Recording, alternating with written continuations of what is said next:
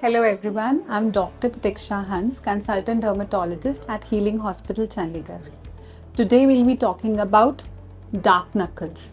ये knuckles dark कैसे हो जाते हैं बहुत सारे पेशेंट्स आते हैं स्पेशली द टीनेजर्स या फीमेल्स जिनको ये प्रॉब्लम फेस होती है this could be basically due to friction कहीं हाथ बहुत ज़्यादा रगड़ खा रहा है या कॉन्स्टेंटली रबिंग हो रही है, आपको इचिंग हो रही है, आप कॉन्स्टेंटली रब कर ही जा रहे हो तो over some period of time वहाँ डार्कनेस दिखाई देती है।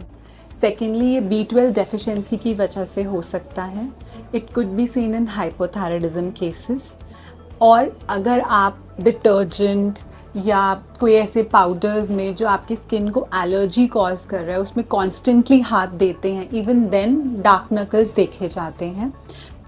Lastly it could be basically due to genetics so instead of treating this at home घर बैठ के इलाज करने से अच्छा पहले इसका रूट कॉज देखिए और उसके बाद अकॉर्डिंग टू जो भी आपका रीजन आउट होता है अकॉर्डिंग टू दैट अपना ट्रीटमेंट करवाइए। So if you have any problem regarding skin hair and nail you can visit the dermatology department at Healing Hospital sector thirty four A Chandigarh thank you